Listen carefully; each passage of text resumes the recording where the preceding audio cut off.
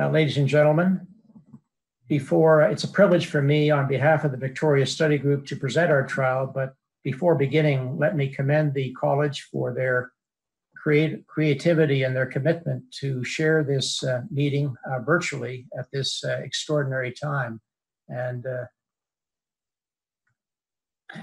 my disclosures uh, are depicted here, and uh, as well, I want to point out that the Victoria trial was supported by grants from Merck and Bayer. By way of background, optimal guideline based therapy with patients with chronic heart failure uh, is uh, substantially associated with both death and heart failure hospitalization, especially after a recent worsening heart failure event. Hence, new therapies to address this unmet need and alleviate this major healthcare burden are desirable. One such option, based on our phase two findings, is the novel guanylate cyclase stimulator vericiguat, which directly enhances the cyclic GMP pathway. Hence, in Victoria, we assessed the efficacy and the safety of vericiguat in patients with reduced ejection fraction and chronic heart failure with a recent worsening heart failure event. By way of background, in this cartoon, uh, I highlight that diminished nitric oxide and decreased uh, SGC are hallmarks of heart failure, and they're precipitated by both endothelial dysfunction and oxidative stress.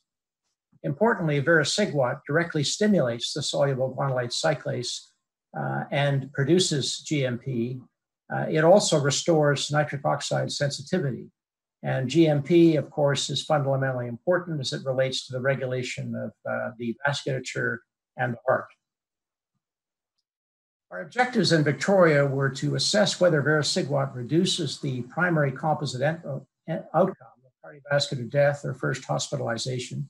Our secondary outcomes were components of the primary, total heart failure hospitalizations, both first and recurrent, the composite of all cause mortality or first heart failure hospitalization, mortality overall, and of course the safety and tolerability of vericiguat in this high risk population with heart failure the inclusion criteria are depicted here. Patients had chronic heart failure, New York Heart Class 2 to 4, ejection fraction less than 45, were on guideline based therapy. They'd had a recent worsening event with either recent heart failure hospitalization or alternatively IV diuretic use. They had very elevated natriuretic peptides with the criteria in sinus rhythm and in atrial fibrillation depicted here. And uh, to be randomized, they could have been either inpatient or outpatient, but they must have met critical uh, criteria for stability, have a systolic blood pressure uh, at or above 100, uh, with IV therapies discontinued for more than 24 hours. We had a 30 day screening period, uh, but no run in uh, was involved. The exclusion criteria included the use of long acting nitrates or phosphodiesterase type 5 inhibitors those awaiting heart transplantation or other severe uh, circumstances, uh, a GFR below 15 or renal dialysis, and other conventional comorbidities, uh, both uh, of the cardiac and non cardiac uh, conditions.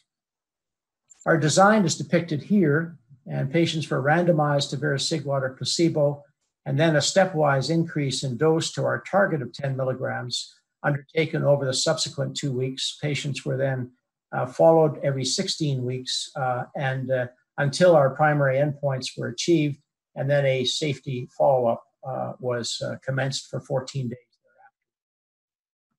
The assumptions going into the trial were as follows. The sample size was derived by uh, the cardiovascular death endpoint, a hazard ratio of 0.80 with an 11% cardiovascular death anticipated in the placebo group at 12 months. To have 80, percent power for this, we needed 782 cardiovascular deaths, and a sample size of 4872 was estimated uh, to have uh, occurred. The consort diagram depicted in this slide indicates that we assessed 6,857 patients, randomized 5,050, equally allocated to both vericiguat and placebo, and uh, we had complete uh, follow up uh, for our endpoint in 99.6 patients randomized to vericiguat and 99.5% for those in placebo. This slide gives you a snapshot of some of the baseline characteristics. Uh, they were uh, they were uh, 67 years of age, 24% females. About two thirds had a hospitalization within three months uh, of the heart failure uh, worsening event. the remainder either three to six months or IV diuretic use. Ejection fraction 29%. 40% were either in class three mainly or class four. Median natriuretic peptide was substantially elevated, as you can see, at over 2,800 picograms per mil. About 60% of patients had triple guideline based therapy, either beta blockers, MRA antagonists, or uh, angiotensin uh, inhibition. And indeed, over 90% had, dual uh, uh guideline based therapy. And importantly, over 32% had either an ICD, a biventricular pacer, or both. So these patients were well treated. The primary composite event rate is depicted on this slide, cumulative event rate on the vertical axis and months since randomization on the horizontal axis. The placebo curve is depicted here, the vericiguat curve depicted here, the hazard ratio 0.90, the p-value for the primary endpoint 0.019. This translates into an absolute event reduction of 4.2 per 100 patients year. Importantly, as one looks at these curves, the curves separate at around three months, and you can see that the uh, placebo event rate is strikingly high, uh, leading to a median follow up of about 10.8 months before the primary objectives were achieved. The forest plot uh, with the overall hazard ratio depicted here and the 13 pre specified subgroups uh, is uh, identified in this slide and because it's rather crowded, I'm going to highlight some of the ones of particular interest that I think uh, you'll be interested in. As you can see, age greater than 75 appears to uh, have some heterogeneity. Uh, geographic uh, uh, distribution seems to line up pretty well, as does the index event. The New York Heart Class, about 14% of patients were on baseline sacubitril valsartan, and the treatment effect appears to be fairly similar. Uh, GFR, most of patients were above 30, 30 to 60, and greater than 60. And you can see the uh, hazard ratio here. The natriuretic peptide for quartiles pre-specified shows an interesting heterogeneity with a significance of 0.001 uh, of some interest. Note that the upper quartile began at a picogram uh, ml natriuretic peptide of in excess of 5,300. The primary uh, endpoint components are depicted here, cardiovascular death on the left, and uh, you can see uh, not significant, although uh, congruent and directionally similar to the overall endpoint, and the hazard ratio for the heart failure hospitalization and the p-value of 0.048 on the right panel. All-cause death and first heart failure hospitalization, which was our secondary composite endpoint, is depicted here. And again, you see placebo, there is vericiguat, the hazard ratio of 0.90 with a p-value of 0.021. Let me take you in some detail into this table uh, and highlight first on the upper panel uh, the data that was derived from that first Kaplan-Meier curve I showed you with the hazard ratio, the p-value, uh, the incidence rates here, but the events per 100 patients years bolded for a simple, simple uh, ass- assessment. And here you see the 4.2 absolute event rate uh, associated with this extraordinary placebo event rate of 37.8. If one looks then at the other secondary endpoints, death 13.9, 12.9, heart failure hospitalization 29.1, 25.9, and total heart failure hospitalizations, which did not appear on the Kaplan Meier curves depicted here 42.4 and 38.3. The secondary composite endpoint, uh, as depicted here, and all cause mortality shown here. Adverse events that we pre specified of interest were both symptomatic hypotension and syncope. And as you can see in this slide, both trended to be higher, not surprisingly, in the vericiguat group, 9.1 versus 7.9, syncope 4.0 versus 3.5. To summarize safety and tolerability, Uh, symptomatic hypotension and syncope tended to be more common with vericiguat. There was more anemia with vericiguat, 7.6 versus 5.7 with placebo. Importantly, serious adverse events were nearly identical 32.8 with, with vericiguat, 34.8 with placebo. Also, no adverse effects of vericiguat on either electrolytes or renal function were observed. And at 12 months, we achieved the 10 milligram target dose in nearly 90% of vericiguat, fairly similar to those in the placebo group.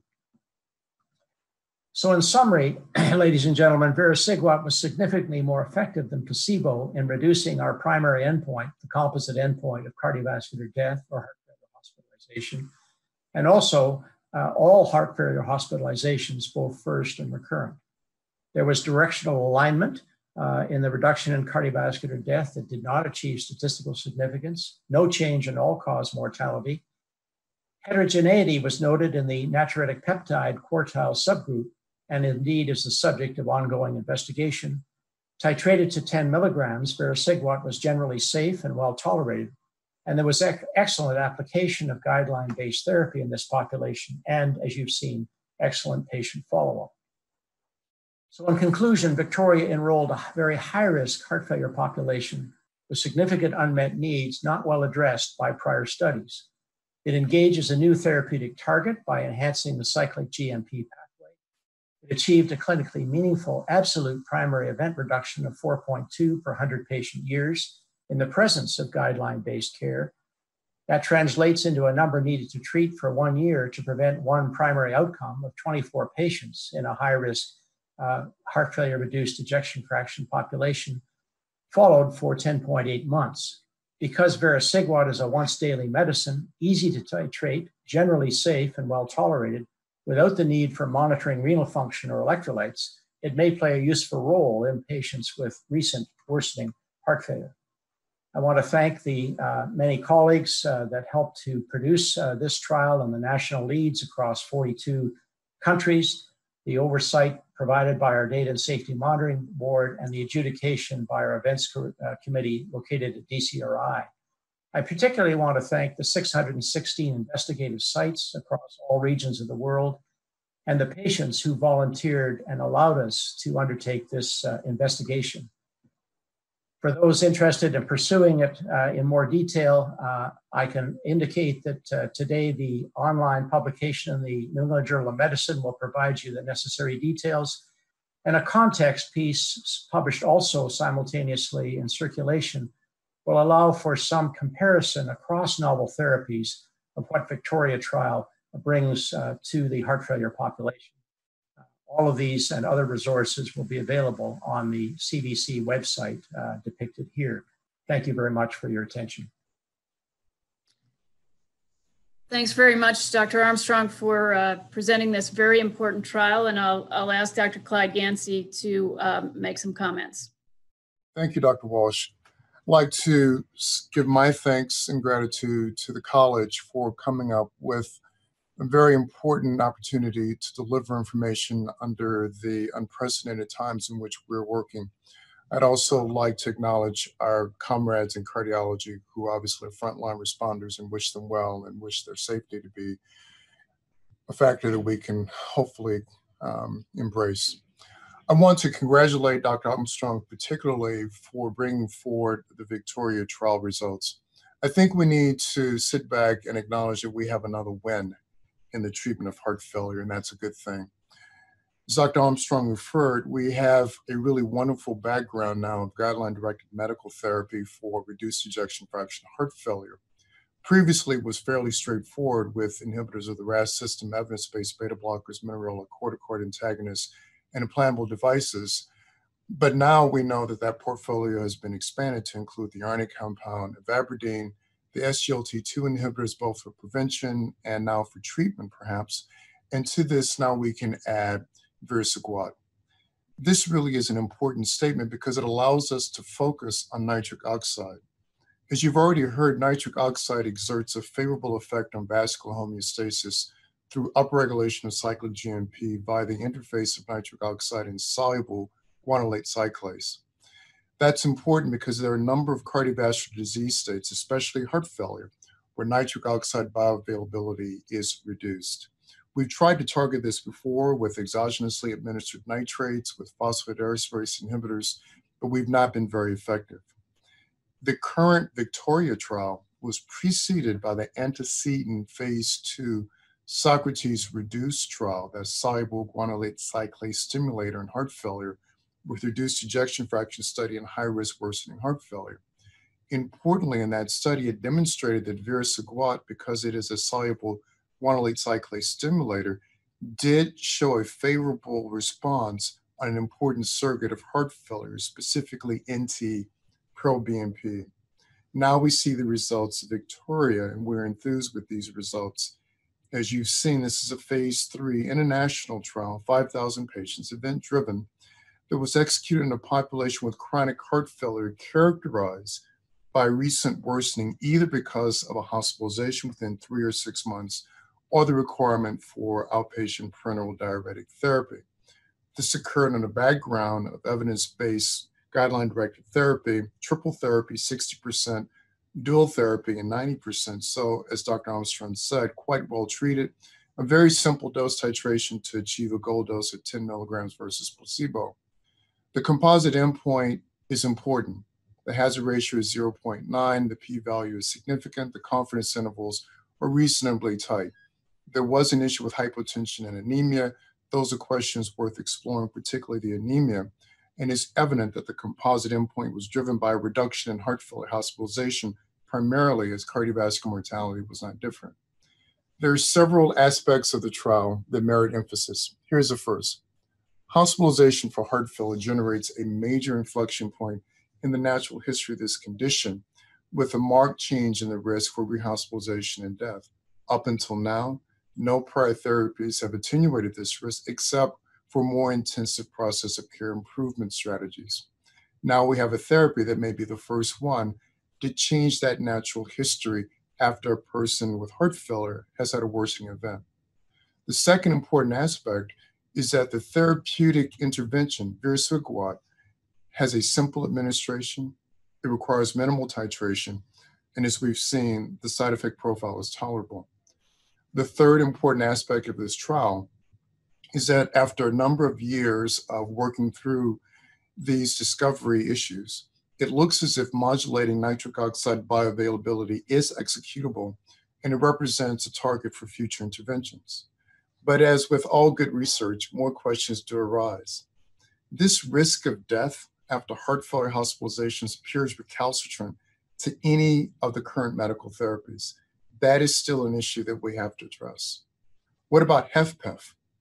There was indeed a Socrates preserved trial, but it failed to show the same kind of favorable signal on NT-proBNP or left atrial volume, but quality of life and functional status may have been improved. The Vitality HFpEF trial is a phase 2b trial which is ongoing, primary endpoint is a change in the KCCQ score. Perhaps that will demonstrate whether or not there's utility for vericiguat in this important patient population. Here's another question that comes about. The percent of Black patients in the Victoria trial was low at less than 5%. That's important because there are prevailing concerns that this unique patient population may exhibit exquisite NO bioavailability concerns. Thus, an opportunity emerges to further study vericiguat in Black patients with heart failure. There's several other things that merit mention. First, cost and cost effectiveness are unknown. Polypharmacy for heart failure with reduced ejection fraction is now officially a problem. I think that's a good one to have because we didn't have that concern for many years, and now we have to recognize there are multiple choices. But with that recognition, we have to understand that the time is now to be even more focused on precision medicine and understanding which patient under what circumstances should the current availability of treatments for heart failure be administered. Overall, then, I do believe that the results of Victoria constitute another win for heart failure with reduced ejection fraction and an important opportunity to further modulate the natural history of this condition. Understanding which patients benefit most, I think, is a key next step. I would encourage investigators to remain diligent in their efforts to sort out what is the ideal patient population. Again, I extend my congratulations and extend my best wishes to members of the college at this unprecedented time. Thank you, Dr. Walsh. Thank you, Dr. Lister. Thank you, Dr. Armstrong. Thank you, Dr. Yancy. And Dr. Stevenson, I'd like to hear your comments on the trial as well. Yes, well, as Dr. Yancy has emphasized, this is not only a therapy for a new physiologic target, but it's also for a new population. The patients with a recent heart failure hospitalization for decompensation have been actively excluded from all the trials that have shown benefit. And recent trials that do focus on this population have consistently shown no benefit. So Victoria finally addresses this population of decompensated patients. These are not the hospitalized patients of the last century. Those patients were evolving from the Digen diuretics era uh, through gradual penetration of RAS inhibition, beta blockade, and more recently the CRT. These decreased heart failure progression and sudden death, and sudden death was further reduced by implantable defibrillators. So the patients we see now in the hospital have evolved to a later stage during this prolongation of survival on the beneficial therapies. Those of us who spend time on inpatient services have been trying to portray this contemporary population. It's a unique population with longer disease duration, more severe disease, and narrow options. The Heart Failure Apprentice Network, for instance, uh, from the NHLBI, identified this population as giving rise to most of the unanswered questions and unmet needs. So this trial focused on patients with recent hospitalizations, most within the past three months, a very high risk group. This group, together with those patients needing intravenous diuretics, have recurrent congestion despite a high penetrance of our currently recommended therapies. Comparison with the stable paradigm population showed more than double the initial levels of BNP and NT-proBNP. And in this population, the majority of patients during the trial for paradigm had no clinical evidence of congestion, and of note, their occurrence of congestion uh, was diminished by having sacubitril valsartan on board. So the dramatic difference between Victoria and previous trials is undermined by the event rate. It was not only high, but it was higher than predicted, which is usually um, the opposite of what happens in trials. The CV death rate was 14% per 100 patient years compared to 11% predicted. And the overall event rate was 18%, was 38%, excuse me, in a year. So note, the number needed to treat in the paradigm population to decrease the composite outcome was 38 for a year, compared to 24 for the Victoria trial because this is such a sick population. There are a couple of interesting historical points about recommended therapies in sick populations. In the original consensus trial in 1987 of enalapril in hospitalized patients, the benefit of ACE inhibitors was not demonstrated in that third of patients who were already on nitrates, interestingly enough, only in the patients who were not. In the V-HeFT II trial, which compared ACE inhibitors to hydralazine Isordil, in the subgroup of patients with class 3 and 4 heart failure, the outcomes were exactly the same for ACE inhibitors and hydralazine nitrates, which is often forgotten. Most clinicians who treat advanced heart failure continue to use nitrates in some settings because we're convinced that they at least seem to improve symptoms for some patients. Regarding the cyclic GMP pathway, it remains to be determined whether some of the benefit of sacubitril valsartan does result from prolonged stability of the natriuretic peptides, which activate the cyclic GMP pathway. But certainly vericiguat addresses this uh, in a more focused way. Dr. Yancy has reviewed the remarkable progressive advances in outcome uh, on our traditional triad of therapies. We now see a bimodal population with heart failure. Those who are doing very well on recommended therapies, uh, with recent demonstration in Denmark that of 20,000 patients who were 70 or younger did not have comorbidities, um, their five-year survival was 86%, and of those, most did not even have an increase in diuretics. Dr. Yancy and I agree that there may be a better term than heart failure for this healthy end of the spectrum. On the other hand, those patients with recurrent congestion and hospitalization despite the traditional triad, those are the patients uh, who need personalization of their care from all these options uh, because they're not necessarily going to respond as a group. Um, and vericiguat offers this really new therapy for this. Uh, in addition to the breakthrough of the therapy, I want to congratulate the Victoria Group on their international collaboration. This high level is so desperately needed moving forward, both for the science and for the appreciation and respect for different cultures represented. This is the mode of international collaboration that's so desperately needed in what's become the world war against a virus. Vericiguat is the first therapy, especially for the benefit of patients whose disease has advanced to require hospitalization. This is a vital step forward in recognizing and addressing this heart failure population in which so much morbidity and mortality is concentrated.